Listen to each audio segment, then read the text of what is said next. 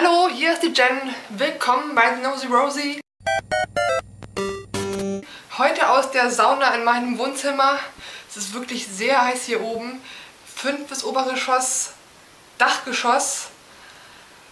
Die Fenster kann ich nicht jederzeit lüft, äh, öffnen zum Lüften wegen den Katzen und es ist einfach unerträglich. Ja, diese Woche haben wir das Thema Lesben- und Kinderwunsch.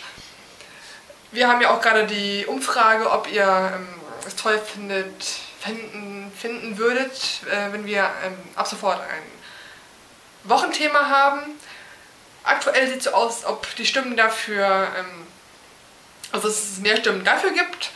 Finde ich auch okay, dann ist ja auch mal ganz interessant zu sehen, äh, was wir unterschiedlichen Rosies darüber so sagen. Und von daher bin ich mal gespannt, was da in Zukunft noch für Themen auf uns zukommen. Also wenn ihr Themen habt, die euch interessieren, wie gesagt, zögert nicht, teilt ihr uns mit, schreibt uns einfach eine Mail am besten und dann kommen die auf jeden Fall auf die Liste. So, zum eigentlichen Thema. Ähm, ich bin da eigentlich im Großen und Ganzen, also eigentlich komplett der Meinung von Cassandra, dass ich es nicht verstehen kann, dass man in Deutschland nicht adoptieren darf oder sich nicht als Lesbe künstlich befruchten darf. Das habe ich ja schon in meinem Homo-E-Video gesagt, also das muss ich ja nicht nochmal wieder breit treten. Ähm, ich persönlich, ich denke, das dauert bei mir eh noch ein paar Jahre, bis ich wirklich äh, selbst ein, ein Kind haben will. Ich muss ja erstmal jetzt mein Studium zu Ende bringen. Übrigens hat das alles gut geklappt letzte Woche mit meiner Bachelor-Thesis. Ich bin jetzt Bachelor of Arts Architecture. Habe jetzt erstmal schön drei Monate frei und dann geht es weiter mit dem Master. Genau, und das dauert nochmal zwei Jahre und da so in der Zeit habe ich sowieso keinen Kopf dafür, irgendwie ein Kind zu kriegen oder so. Von daher danach, also in drei Jahren oder so, werde ich mir mal Gedanken darüber machen und vielleicht ist es dann ja auch schon so weit, dass man das ganz legal in Deutschland machen darf. Aber wenn nicht, ähm, denke ich mal, dass meine Freundin und ich das mit der von Cassandra beschriebenen Bechermethode machen werden. Und zwar geht das ja mit der nadellosen Spritze, was Cassandra ja sagte. Am besten den netten Herrn, den man sich ausgesucht hat, ins Nebenzimmer schicken mit einem kleinen Becherchen. Das wird ja auch Bechermethode genannt.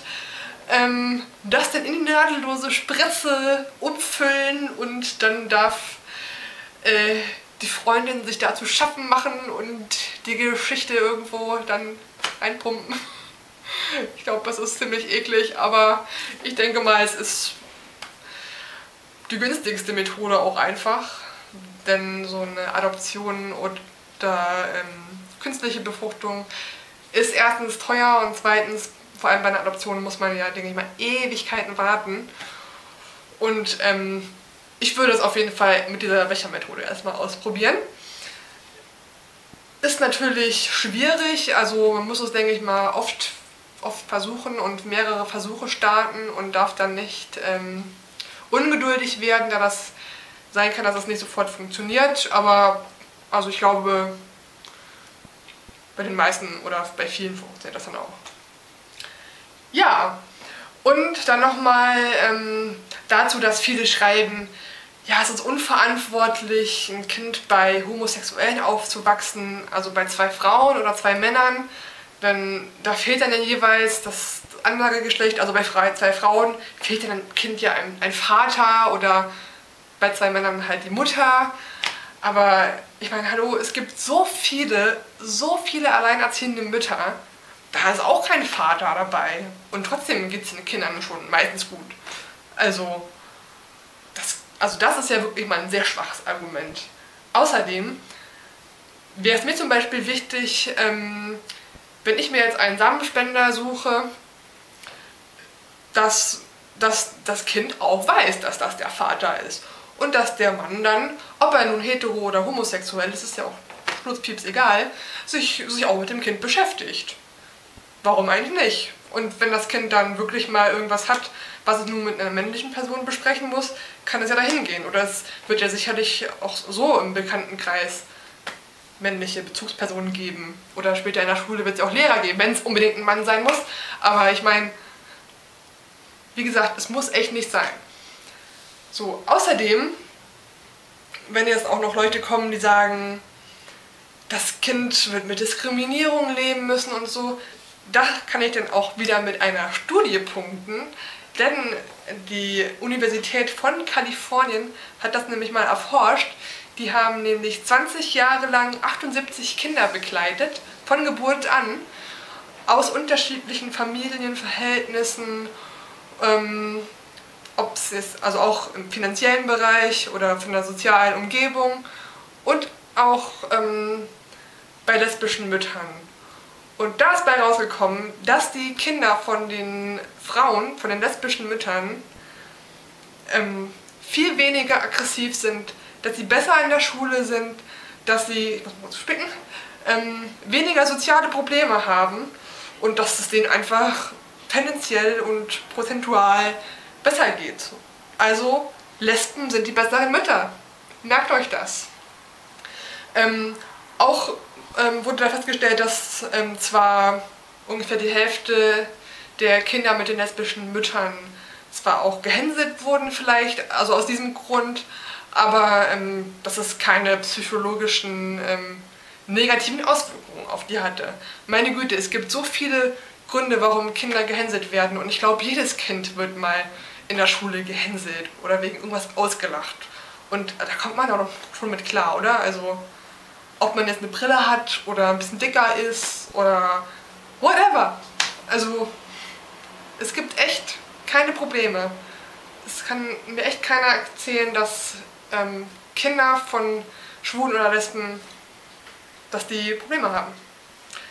Ein Beweis dafür bin ich noch, nämlich meine Freundin, die ist nämlich mit zwei Frauen groß geworden. Ähm, Okay, manche mögen jetzt sagen, ja, vielleicht ist sie deswegen ja auch lesbisch, aber sie hat eine Schwester und die ist sowas von stockhetero. Also, dann wäre die ja auch lesbisch, wenn das der Grund dafür wäre. Ne? Vielleicht hatte sie es dann ein bisschen einfacher mit dem Outing und so oder ist einfach toleranter aufgewachsen, sowieso.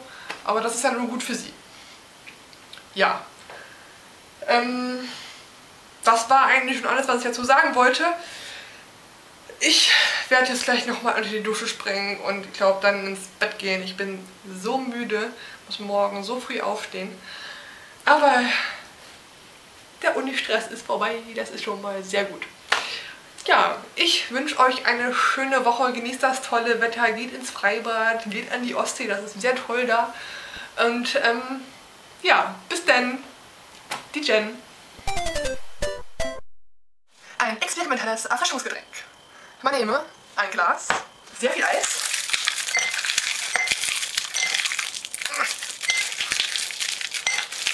Noch eine? Oh, das reicht.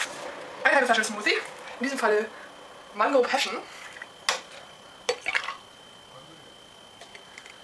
Was Sprudelndes mit Kardamom.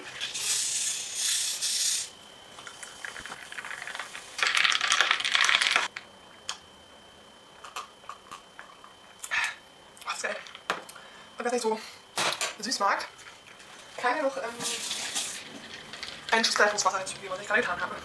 Cheers!